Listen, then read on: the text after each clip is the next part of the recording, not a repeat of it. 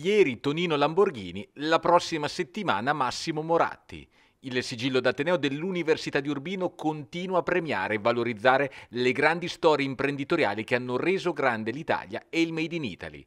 Personalità forti, esterne al mondo accademico, ma che possono essere fonte preziosa di ispirazione per ambizione e creatività dei giovani a cominciare da Tonino Lamborghini che ha tenuto ad Urbino la Lexio Magistralis su quella che dall'eccellenza automobilistica è diventata un modello di brand extension. Il brand extension è un'importante onorificenza da parte di una grande università, di un'università storica, orgoglio italiano e, soprattutto un riconoscimento italiano. Io ne ho avute altre, le ho avute dall'America, le ho avute una laurea d'onore, una dall'India ehm, un'altra da un'università privata eh, di Roma, però parliamo di università italiane, parliamo di un'università di Urbino.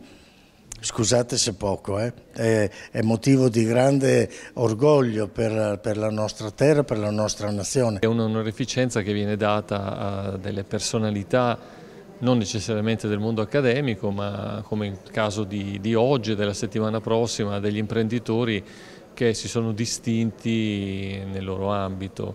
E ehm, non ha diciamo, un sigillo, quindi non ha un valore legale, qualcuno l'ha, eh, in passato la, la, ha pensato che fosse un equivalente di una laurea d'onore, invece no, è, è, un riconoscimento però importante, ehm, basta vedere appunto le personalità a cui è stato dato nel corso di questi anni per capire il livello eh, di importanza eh, di chi l'ha ricevuto il sigillo. Da Tonino a Elettra Lamborghini, percorsi diversi, stesse affermazioni di successo.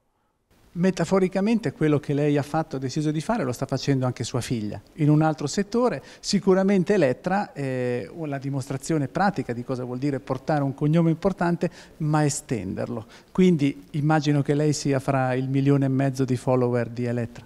Naturalmente sono molto orgoglioso, l'ho osteggiata parecchio, non riuscivo ad immaginare che potesse eh, avere un percorso del genere, eh, non posso che esserne orgoglioso, contento, felice, non la posso aiutare perché non vuole essere aiutata, non mi ha mai chiesto niente quando mi sono proposto per dare un minimo, mi ha sempre detto no, sono cose mie, non voglio sapere niente.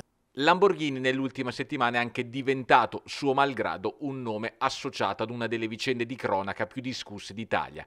Quella dell'incidente mortale di Casalpalocco in cui ha perso la vita un bambino di 5 anni, vittima di un comportamento giovanile che Lamborghini ha condannato senza mezzi termini. Una vergogna una vergogna.